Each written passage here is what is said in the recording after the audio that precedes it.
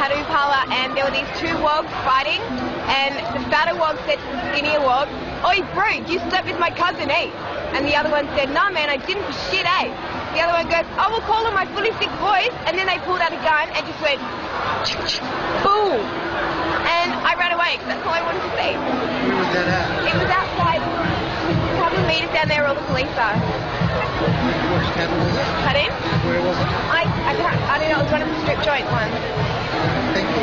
and um, this guy come out of nowhere, like you know, Jake, we just come come out on, and you, shot. you've seen enough tonight. That's all right.